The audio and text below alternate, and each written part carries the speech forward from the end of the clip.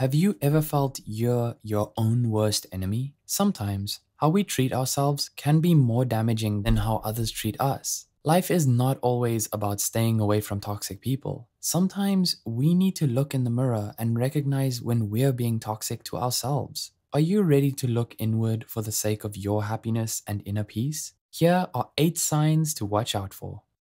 Endless apologies. Over apologizing is often a way people avoid conflict or seek approval. For example, you could be in a team meeting where you share an idea and immediately apologize, fearing that you might have inconvenienced others or that your idea isn't good enough. This constant self blame can wear down your self esteem and confidence and make you feel unworthy of being heard. Constantly apologizing is like having an automatic sorry button. It is unhealthy. It can indicate that you undervalue yourself and take on unnecessary blame. Not only that, behaviors like this may make you a prime target for manipulators and selfish people who are looking for a scapegoat. Trust that your ideas are valuable and your voice matters just as much as anyone else's.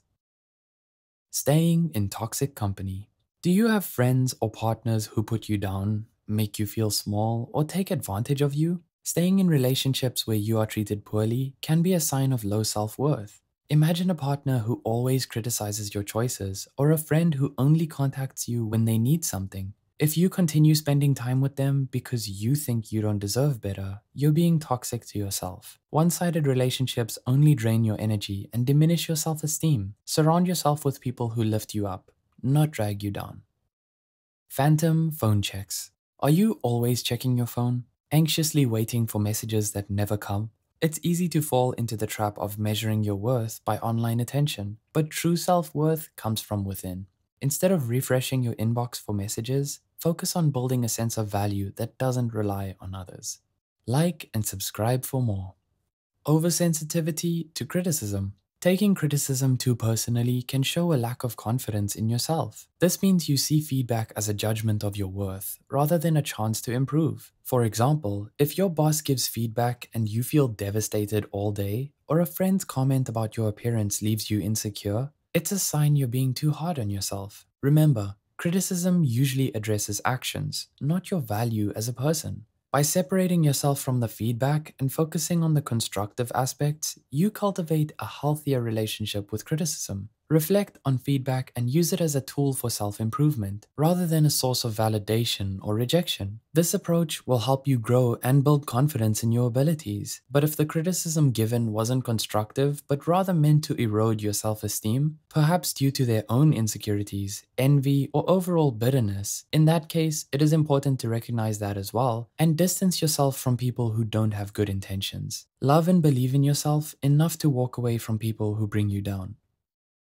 Self gaslighting. Self gaslighting or harsh self criticism often comes from internalizing a negative, abusive voice from a parent or someone influential in your life. For example, you might think, I'm probably being too sensitive when someone disrespects you, dismissing your valid feelings. Or tell yourself, I'm imagining things, when your intuition senses something wrong. This critical voice might have protected you from rejection as a child, but now it only tears you down. Instead, try developing an empowering inner voice that supports you. The goal isn't to stop being self critical, but to make it constructive. Focus on curiosity rather than judgment. This way, you validate rather than invalidate your underlying needs.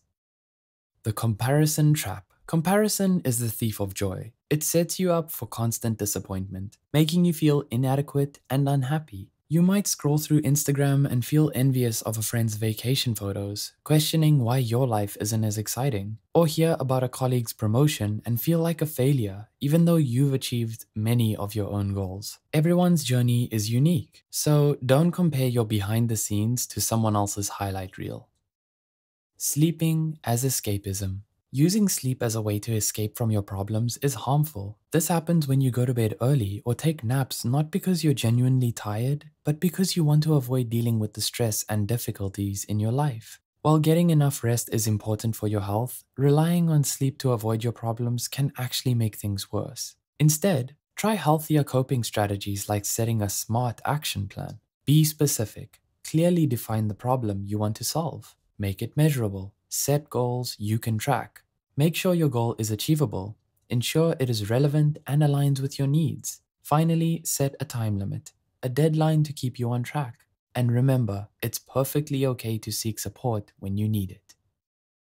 Agreeing to everything. Always agreeing with others to avoid conflict can mean you're suppressing your true self. For instance, you might agree to a friend's plan you don't like just to avoid upsetting them. This can make you resentful and lose your own identity. Additionally, research shows that this people pleasing behavior might actually be a fawn trauma response, which is a maladaptive way people create safety in relationships by prioritizing others' needs over their own to maintain safety and avoid conflict and rejection. Remember, expressing your opinions and standing up for what you believe in is important. I hope this video helped you recognize some of the ways we can be toxic to ourselves. It takes a lot of courage to look inward and face these behaviors, but doing so is a powerful step towards self-improvement and healing. Remember, you are deserving of love, respect, and happiness. These signs are not a measure of your worth, they're simply areas where you can grow and become kinder to yourself.